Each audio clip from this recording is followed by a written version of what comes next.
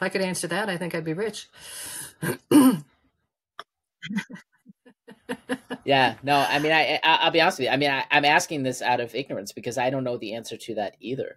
And a warm welcome back to successWerk, the Success Factory. My name is, of course, Felix Becker, and I am your very own success coach on this journey we call life. Now, I am here to help you succeed in life and business. But there are so many amazing people out there who do some incredible work to make the world a better place for all of us.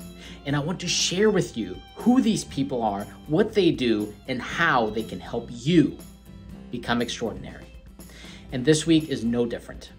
Christine Porter helps women become free from alcohol.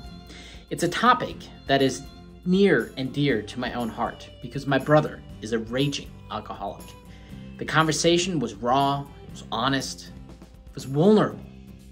You truly get to listen in to Christine's own journey through life with alcohol and now without.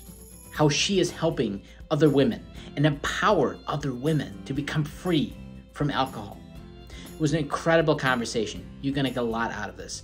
It truly tugged at my heartstrings. And I'm sure you can hear that in my conversation with Christine as well. Now, remember, if you like this kind of stuff, please like, rate, review, share this story with people who could benefit from hearing Christine's story. Share the story with women who are suffering from alcohol. But let me get all this mumbo jumbo out of the way and let's just get right in to my conversation with Christine Porter. Christine, so nice to see you. Let's get right into it. Who are nice, you? Nice to see you. Yeah, so who are you? Who am I? Well, I am a entrepreneur, mother of two, mother of three fuzzy dogs, wife, inquisitive creature who likes to explore all kinds of fun options. And one of those fun options I'm exploring right now is becoming a coach for people, for women who struggle with alcohol. Wow, that's uh, that's uh, a lot. So uh, that's also going to be a topic that's uh, somewhat near and dear to my heart. Uh, not necessarily woman part, but the struggling with alcohol because my brother is a just absolute raging alcoholic, and I honestly don't know how to help him. So uh, let's uh, let's get back to the beginnings. How did you get to be where you are today? Well, my story starts with um, my own tragedy, if you'd like to put it that way. Um, I I think my drinking started um, long ago, and didn't I didn't realize that it was creating a problem. You know, the typical weekend drinkers go camping, drink. You know, don't work, don't drink all week, just go back to work, and you're surviving. And then I suffered a major depression I went through a real down time. And the only thing that got me out of my bed was a glass of wine. And that glass of wine continued to be two glasses of wine, continued to be a bottle, continued to be two bottles um, on a daily basis. And finally, I broke and decided I didn't want to live any longer. So I was intent on taking my own life and I wasn't successful, thank God. Um, I'm here to tell the story that, um, but it was a huge wake up call for me that I don't remember any of it. Like, I don't remember wanting to do it. I don't remember the action. I don't remember any of it. I just remember waking up in the hospital. So, um, it was a huge wake up call for me, and I decided I needed to do something about it. So I went to rehab and I went to AA neither of which worked for me because my mindset was not where it was supposed to be. I was trying to quit alcohol because I had to quit alcohol, not because I wanted to quit alcohol. So after the first round, I started drinking again. And it got worse if it was possible. It got worse.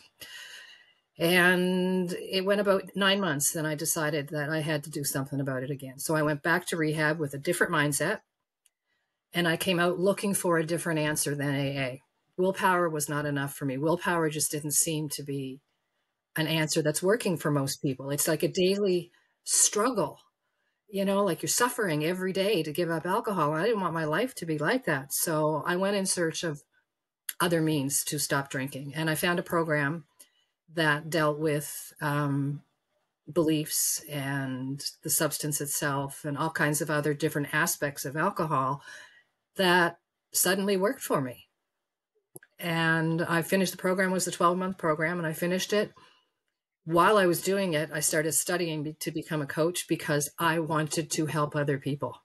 Other people needed to find out that there was a different way. And I was determined that I was going to help women like myself get out of that rut and do something.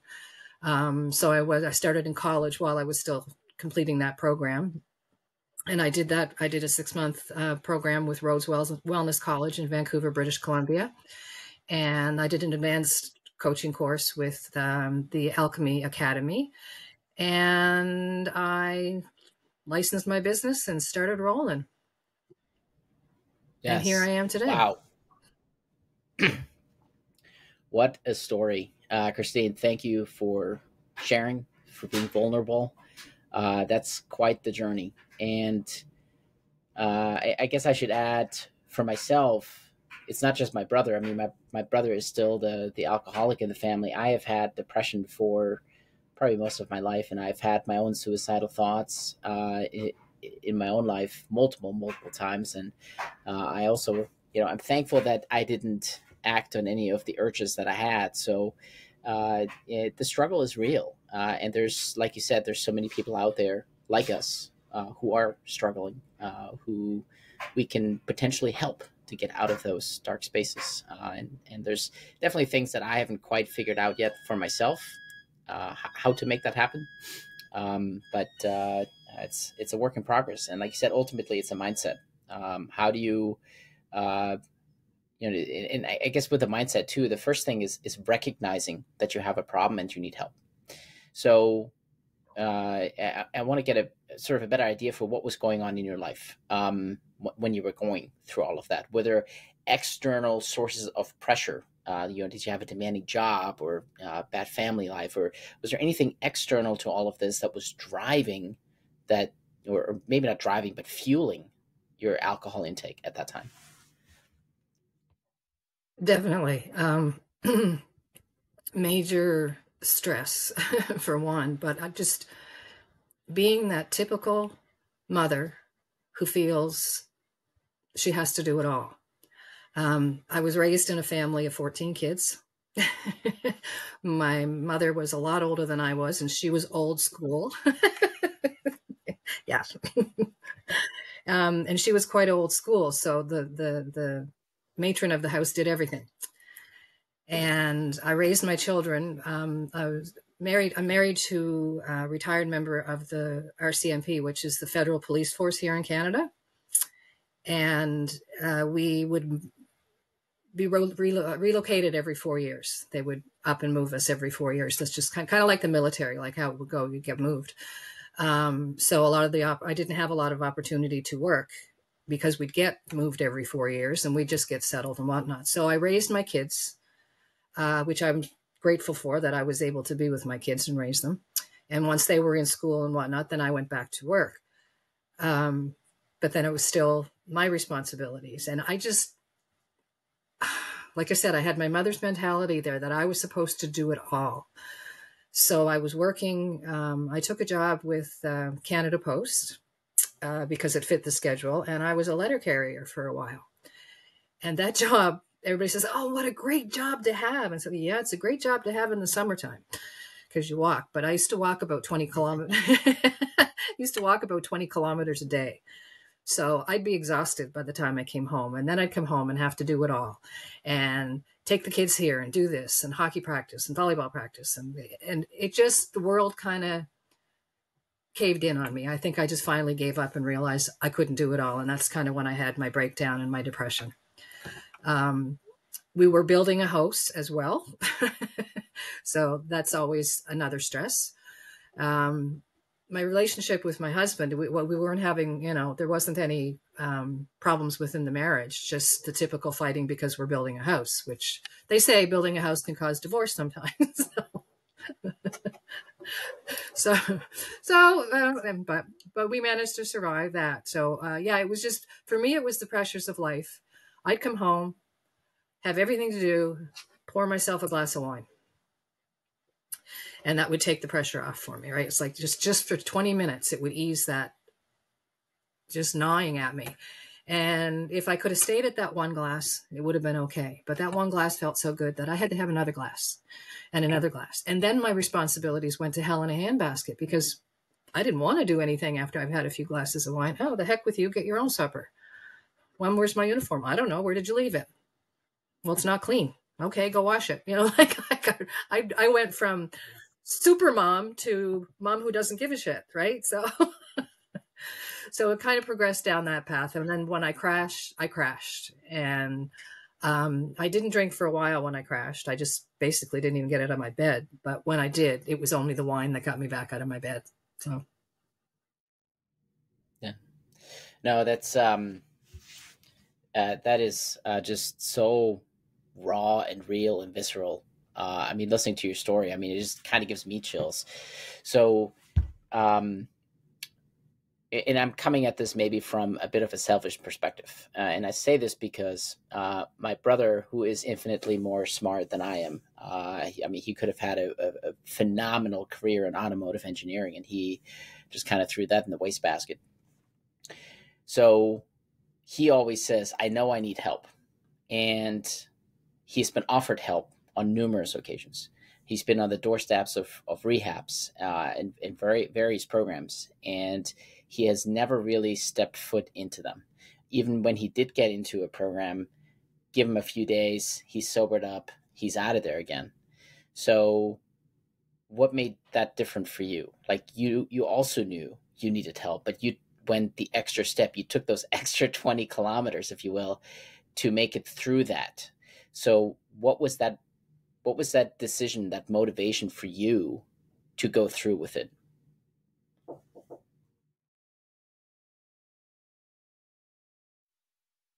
For me, it was the desire. I did not want to drink anymore. And to rid myself of an addictive substance was going to take some determination and, and guts. And I knew that. And one, once I, what I find with, with people, like the first time I went through it, I didn't really want to do it. I was doing it because I had to. So once I became sober, I mean, I did rehab for almost four weeks. I had four, you know, I had that under my belt and came out and struggled, struggled for three months, just every day, like, you know, sometimes in tears. And my husband wanting to go buy me a bottle of wine because he knew how miserable I was. But the second time around, it was like, it was my mindset. I wanted to do this. So I knew that I had to buckle down and do whatever was required of me to become clean and sober and not go back to it. Um, it's really easy. It's really, really easy to think after, you know, oh shit, well, I, I've just done four or five days. I can do this. No, you can't do this because the brain, the neuroplasticity in the brain is wired to want the alcohol. It wants that dopamine rush from the alcohol. So you have to change your mindset and you have to change your lifestyle. You have to start doing things naturally to get that dopamine rush. Now that takes a little while, but you have to put in the work right? Yeah. No, absolutely. And like like with anything in life, if you want to achieve anything big or major, it's going to require some work, and there's definitely challenges along the way. So, for anybody listening to this episode who who relates to your story, uh, what what kind of spark of motivation can you give them that there is hope, that there is a better life, that there is something else waiting for them, other than what is going on in their lives right now? Well, like part of what you just said, that there is help, there is a way out. Um, you know, you have to. They don't have to feel lonely. They don't have to feel like it's all you know that that they're by themselves trying to trying to deal with this stuff. Every there's so many people that are trying to deal with this. It's it's just a shame. Um, you know, and it takes so many lives like there's i was just doing some stats up for a client and he was just curious and there's um, the latest stats came out at 3 million people a year are killed by alcohol. 3 million you know like that's and, and it's not like you were talking about your, your brother and, and how he gets steps in and, and it's not his fault because of the brain because of the way the brain gets wired. He, you know the subconscious is ruling. I mean we don't know that the subconscious is ruling but it is ruling you know our conscious brain only deals with about two things at a time. Our subconscious brain deals with so much more. And it's the subconscious that's ruling. That little lizard that lives in that you know reptilian brain i call it comes out and says no i want that drink. So in terms of a spark you know the spark kind of had that the spark kind of has to get lit within. They have to they have to really they in their hearts they have to want it. Because you can't you can lead a horse to water but you can't make them drink right. No that that is so true and, unless the water is laced with alcohol i suppose. Um yes. Um no but so if you think about it there's really only two areas of motivation gen- generally speaking for us humans. We either seek pleasure or we avoid pain.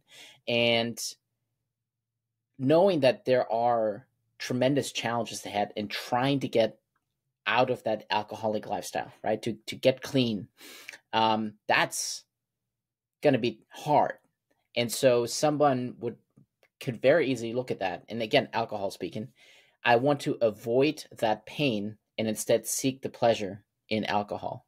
So you're absolutely right. It's a mindset issue because now we have to force our thinking into saying, yes, I know it's going to be hard, but at the other end, there's going to be even more pleasure waiting for me. So, yes, I have to go through this really hard next few months, but at the end of it, there's going to be much, much more pleasure waiting for me.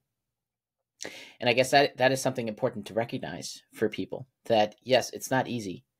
Nothing in life ever is, but there is going to be something better waiting on the other side. So, let's talk about that in your own life. What does that look like now since you have gotten clean yourself? What what is that extra amount of pleasure that you have had as a result of your own cure? Oh my gosh, where do I start? like I I take I take pleasure in waking up in the morning and just breathing and saying, "Oh, welcome to another day." Like it's you know I'm there's so much stuff that I do that I take pleasure out of. I've started uh, meditations. I do journaling. Um, I enjoy nature so much. I just step outside and breathe, and I'm I can feel the dopamine rush in me. Um, anything that channels you know a desire for for pleasure that way like crafting um socializing uh, anything that you take pleasure in that you can put your energy into is going to help you go from the negative to gaining that positive pull you know like you were saying about the, the two different you know motivations that either you're going towards pain or you're, you're going towards pleasure but the pleasure doesn't have to be painful. The pleasure can be pleasureful. Like um, in um, i've just started recently started a 12 week program called become alcohol free. And in that program the first thing i start with is the whys. Why do you drink? And why do you not want to drink? And when you see that on paper it's like holy cow like why do I not want and it's and you and you really like I really make you dig down deep, right? To figure out, well, why, you know, am I drinking because, you know, I'm drinking because Felix is drinking. Well, no, that's not why you're drinking, right? So out of that may come beliefs, and I deal with the beliefs. And out of the beliefs may come, you know, and the mindset as well. So it really gets in there. But if you can figure out your whys, then you can bring the pleasure into your life, saying, okay, well, this is why I'd like not to drink. I want to be present for my kids. I want to have a family dinner without a fight, you know, and all of these things. And if you, you know, sitting down at the dinner table with no cell phones and just a meal and all of you can bring so much joy. Just having the conversation, you know, just having a normal conversation. Like, well, I guarantee you that's not happening with anybody who's drinking. I certainly never did. And if we did, the conversations were never good. Yeah. Yeah. No, and uh, you're absolutely right. I mean, uh, not just in alcohol, but really with anything in life, it's good to know why you're doing something. Uh, knowing your purpose and knowing what you're working towards is so important. And I, I think the exercise that you're doing with your clients of actually putting pen to paper and writing it down, I mean, that really gives it so much more substance. There's some kind of visceral visceral effect to that um, that uh, you, you don't get out of just speaking out loud. I mean, there's so many times when I have conversations in my own head uh, that sound great, but once you put pen to paper and you actually write it down, uh, it's a different story. Um, but so, besides all the good stuff that has happened in your life, there's obviously still some uh, changes, I would imagine, that have happened compared to your old life, maybe even before uh, all of this alcohol took over. So, are there still days, for example, now where you you crave alcohol or where you have thoughts that oh I, I wish i had a glass of wine. Yeah i can't lie. Of course there are. And i think as somebody who drank as much as i did i, I think that's there. But what has changed in me it's, it's a very fleeting thought put it that way. And what has changed in me is knowing i have all of my tools available to me. I can play it forward and say okay if I have this glass of wine, I know I can't have one glass of wine. That's just who how I drank. That's how I am. I know that I'm going to have the one, the two, the three, the four. Okay, so where's that four glasses of wine going to lead me? That's going to lead me probably to have a fight with my husband. I'm going to start picking on him about the house not being finished yet, or, you know, the tools all over the place, or whatever. My kids are going to get upset with me because I'm so I you know okay then I'm they're going to get upset with me then I'm going to get angry and I'm going to drink more. Because then I, I get the well you know you're making me mad it's your fault I'm going to have another glass of wine. So so then I have another glass of wine and then it gets to the point where maybe I black out again and and I don't want that life anymore. I don't want to be that person that's out of control and wondering you know what did I do? Who did I hurt you know, did I dance on a table again last night? You know, did I phone somebody and tell them off? You know, like I don't want that. So I have all of those tools in my head. I've practiced them long enough that I can say, oh gosh, I'd do anything to have a glass of wine right now. And then it goes immediately into my, well, really? You know, as opposed to not having those tools, having that thought then you're then you're suffering. Then you're struggling through that day thinking oh i just want that glass of wine. That's all you're focused on is that that glass of wine. Yeah. No and, and you're absolutely right. It's it's a it's a matter of retraining your brain to have that safety thought if you will to say no i really shouldn't do that because i know what that will lead to.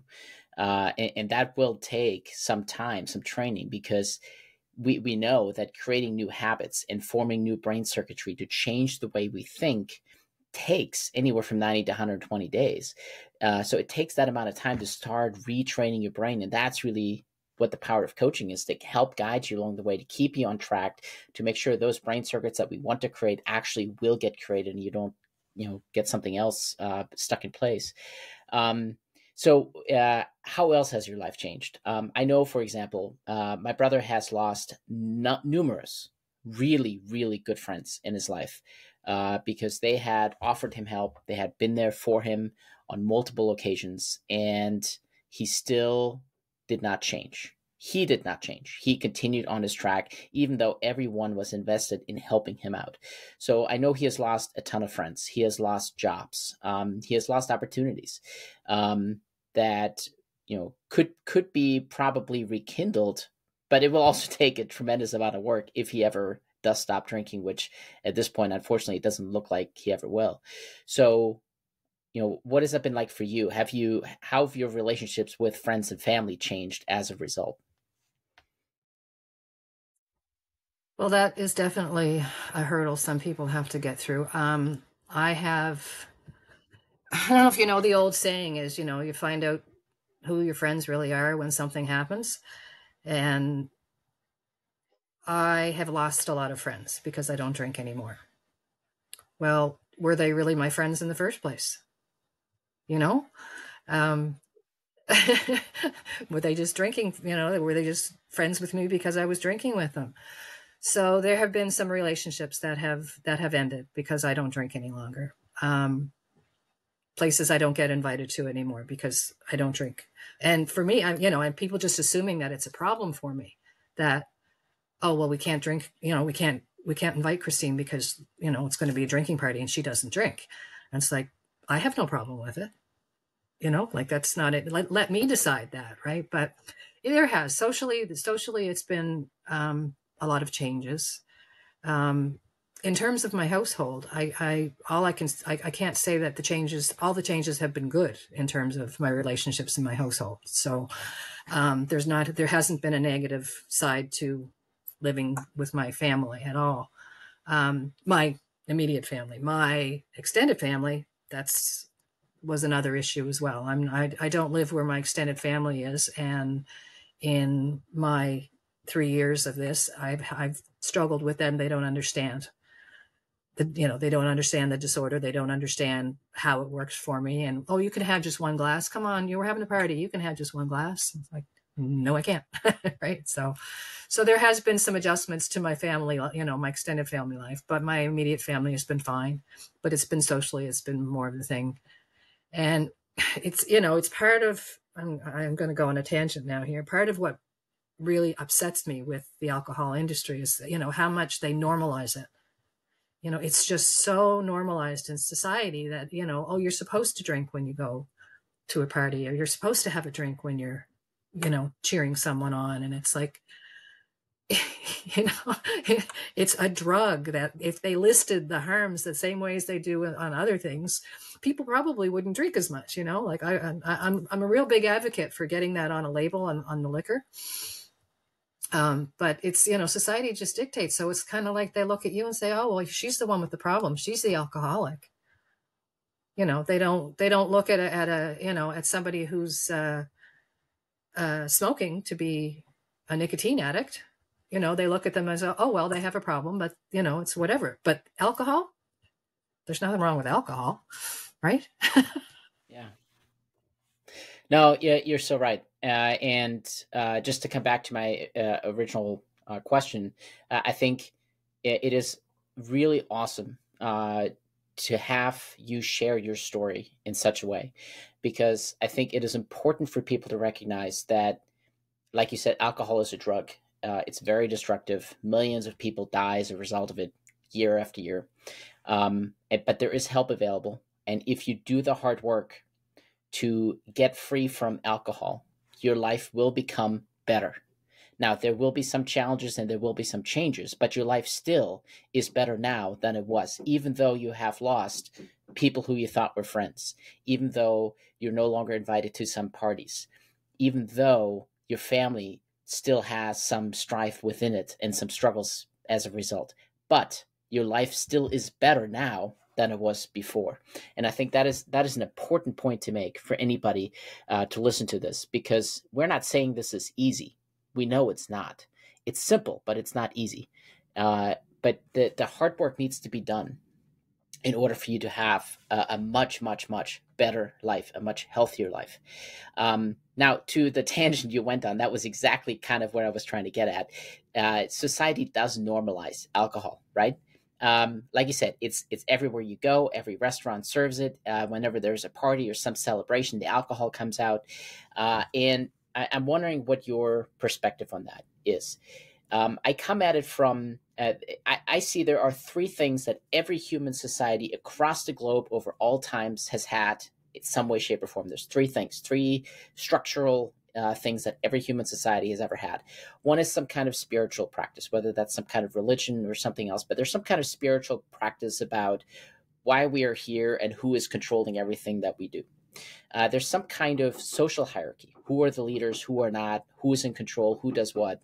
Uh, and then third is some kind of mind altering substance. Uh, I think in, in modern day North America, for the most part, that is alcohol, followed by uh, probably nicotine and, and, marijuana to some extent. Uh, but uh, you look at some of the South American countries, you're talking about ayahuasca, uh, kratom is huge in Southeast Asia. Uh, but y- y- again, it, across all societies, there's some kind of mind altering substance. And I think that is partially as a result of um, defiance and maybe where you are in the social hierarchy, as well as trying to figure out the spiritual side of things. Um, so I think that's how I sort of see how all of these integrate. Um, so knowing that, I think some kind of mind altering substance is sort of innately human for us to do. I sort of see how it's how it can be normalized within society. The problem now is, of course, we know in modern times how destructive these substances are for our own health.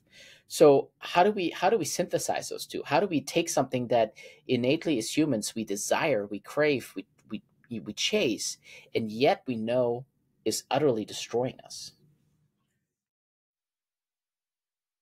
Wow. if I could answer that, I think I'd be rich. yeah, no, I mean, I, I will be honest with you. I mean, I, am asking this out of ignorance because I don't know the answer to that either. Um, I, you know, everywhere I go, um, and I, I used to drink a lot more in my younger days um, uh, as well. I would have never I don't think I was ever to a point where I was considered myself an alcoholic. It was never a daily thing. It was more a nights and weekends social event type thing. Uh, but now as I'm getting older, honestly, I've lost a taste for it. Uh, I don't like how it makes me feel. Um, so I have I have really cut alcohol 99% out of my life. I mean, I'll have a drink here and there, you know, once or twice a year or something with some friends, but that's about it. Uh, and it's really not something that I seek out for myself anymore. Not really because of my brother, but because it how it makes me feel. And I, you know, it's just just not my thing anymore. Um, but but again, I, I, I think there is some kind of innately human aspect of it uh, as well. So, uh, I, but maybe that is exactly where coaching comes in, right? That's where we can make a difference in people's lives individually, not not on a societal level, but on an individual level to make a difference for these individuals and that's obviously what what you do. So um, what does that look like uh, in, in your practice? Do you have a, do you have a defined program or programs? Uh, do you have or do you do sort of a customized approach with every person? Um, how, how, do you approach that with your clients? Um, it's a 12 week program as i said before. Um, it is there's there's a basic you know there's there's a basic structure for the program but it is going to depend on the client um, what they're struggling with the most or in what areas. Might work a little you know tweak this one a little bit better or i might tweak that one. Overall the program is set up that it works for everybody. And if they do the work right? Like you can't just sit back and, and attend a, you know attend one of my classes and say okay yeah that's fine let's go on to the next one. No, there, there's there's there's work to do for each one of them if if you want it to be successful.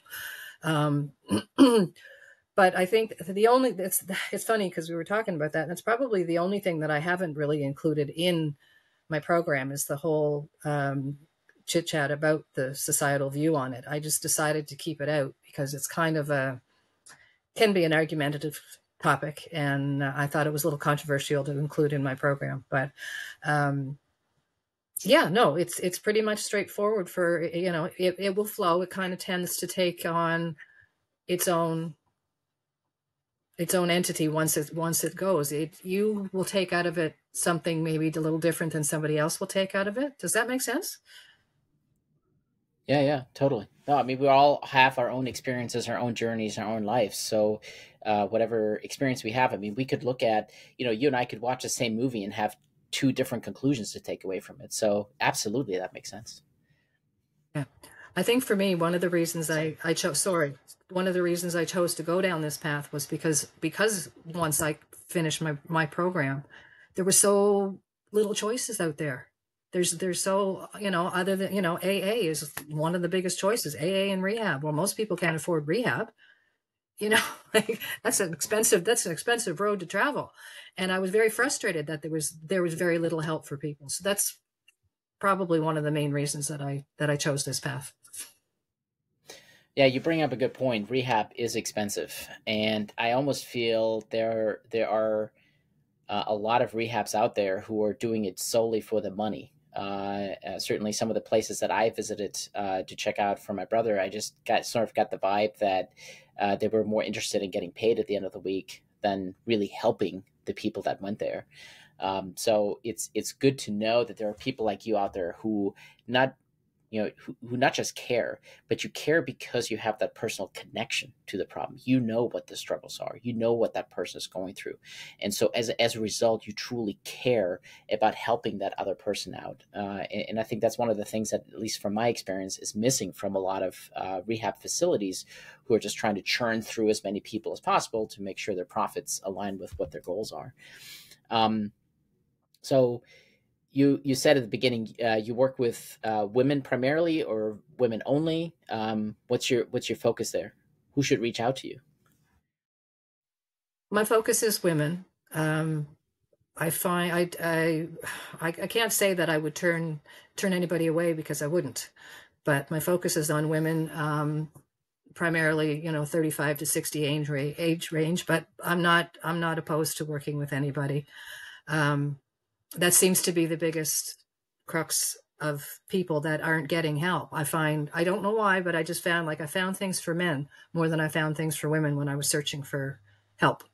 Um, and uh, yeah, and and I just I so I wanted to put off, you know, like I said, I wanted to put out there a different aspect for women, just something that they might be able to find that's not an expensive rehab, that's safe, that's confidential, that's helpful. Yeah. I, I mean that is so important. Uh, that safe space, that confidential space, a place you can trust uh, to get the help you need. Uh, so that that is very important. Uh, I guess coming back to the societal question, then, uh, why why do you think there's there's more stuff out there for men? Is that just our still historically ingrained gender bias that we still haven't completely shed, or where is that coming from? That's what I think it is. I think it's it's the fact that they think that men drink more than women do. you know, the man comes home, has his drink and whatnot. So it's it's things tend to be geared a little bit more towards towards the male role. When in fact, the stats are increasing on women drinking. Um, versus what it used to be like in the last the last five years the stats on how many um, on how much women drink have gone it's gone up considerably. Um, but but yeah, it's just I think it's traditional that they think that the men drinks more, so there's more available out there for men. But but I think you're right. One of the thing one of the key things in any program, and I did rehab, but I did it through a government run organization, so it wasn't you know, I, I, dealt with addiction counselors. I never dealt with people who were just running a wonderfully fluffy facility. This wasn't a fluffy facility at all. It was just if I can kind of say it, I'm going to say jail like, but no, it wasn't quite jail like, but that's what I told my husband. I felt like I was in jail.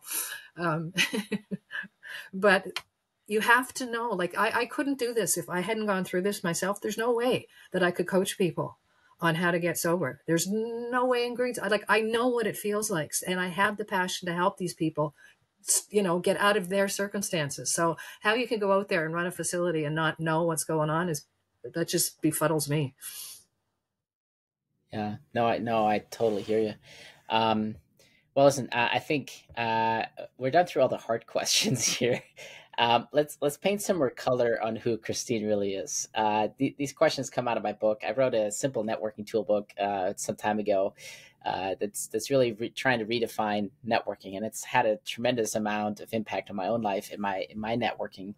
Um, and, and, these questions are really meant to get at who someone is and not what someone is. You know, if you go on LinkedIn and you connect with someone, you always see their bio and, and what they do, uh, but you really never get to know who they are. And so this is trying to paint more color on a person about the who and not so much the what. Um, so, who or what is your source of inspiration? Hmm.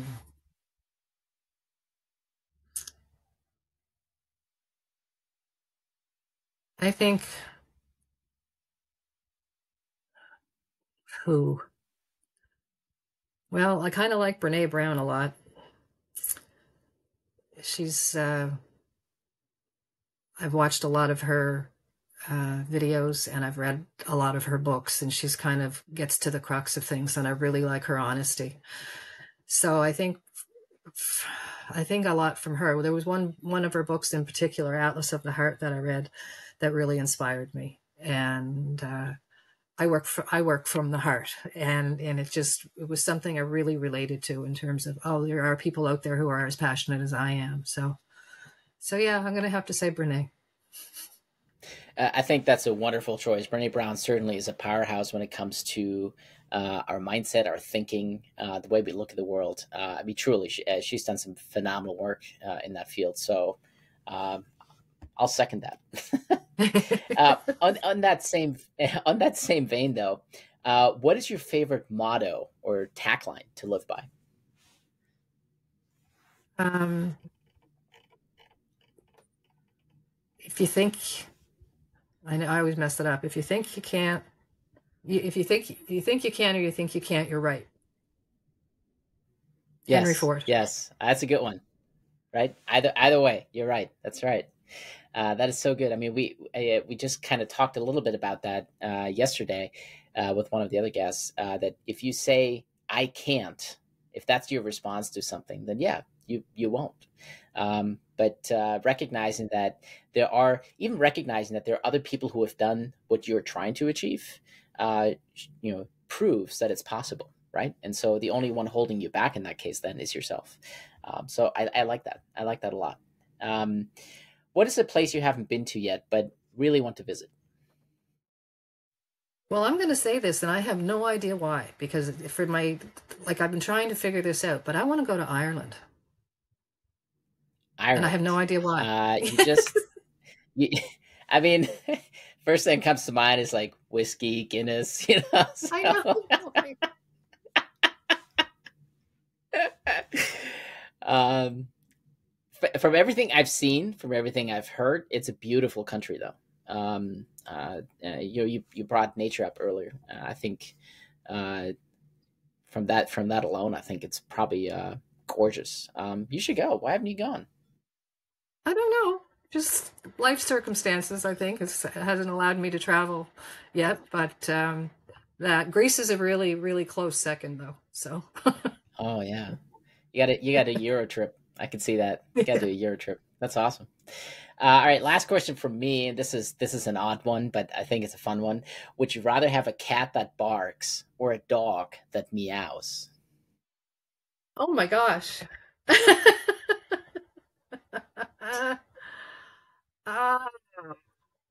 I'm gonna have to say a dog that meows. Why is that? Because I like dogs better. All right, no, that's fair. That's fair. I have three, so I have um, to say a dog. Oh, there you go. Yeah, so you're a dog person. That that's fair. That explains it. Um, all right, so you have one more question uh, to answer, and that is a question that the previous guest left for you.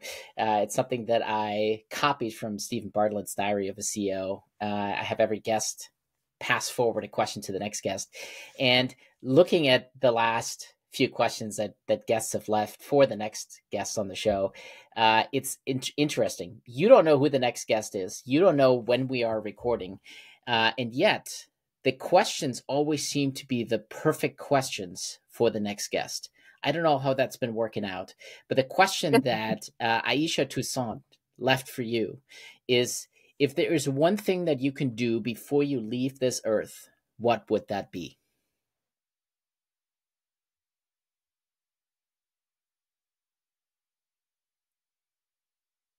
Have to help as many women as I can find their life, find freedom. That's beautiful. That's truly beautiful. I, I want my dash. You know, they they say you're on, on your headstone, like your headstone, you got your name and the year you were born, the dash, and then the year that you died. I I want my dash to mean something, right? So. Oh, that's deep. That's deep. Well, all right. It's time for you to pass it forward. What question would you like to ask the next guest? Well, I'm going to pass the dash. Ask them what they'd like their dash to be. What do they want their dash to say? All right. That's awesome. Um, I honestly don't know who the next guest is, but I will pass that on to them. Uh, Christine, this has been a, just an incredible conversation. I mean, thank you so much for being so vulnerable, so raw, so open with your story. Uh, I mean, it's it's inspiring to hear that, and I think anybody who is in a similar circumstances when you once once were, um, is the ability to recognize that there is something better out there is just so important. Uh, so thank you. Um, where can people reach out to you if they want to get in touch? Okay, they can reach out to uh, my email at New Beginnings Inc. 2023 at gmail.com or my website at newbeginningsinc.ca. Fantastic. And I'll make sure all those links are in the description below for anybody to find them easily and readily to get in touch with you uh, if they want to speak to you and connect with you and maybe hire you as a coach. Um, again, thank you so much. Do you have any final words for the world? Um, there's hope. Don't give up. Yes. Yes, I love that. All right, we're gonna end it on a high note. We're gonna end it right here. Again, Christine, thank you so much for everything Thank you've you. shared, everything you're doing, everything you're going to continue to be doing, uh, sharing your story. Uh, it's been an absolutely incredible conversation. Um, thank you. Thank you. All right, I really hope you enjoyed that. The questions that I asked towards the end are from my new book, The Simple Networking Tool. It's a great book uh, that redefines how we network. It's all about who someone is and not what they are. So if you want to get your own book, it's available on Amazon. If you want to learn more, there's videos about it here on YouTube. So you can check out this amazing new social science experiment. I'm so excited for it. If you do get a book and you do start your own, please let me know how it goes and what your experience is like. I'm working on the second edition and I want to make it the best one yet. So be sure to tag me, let me know how it goes. Thanks for watching.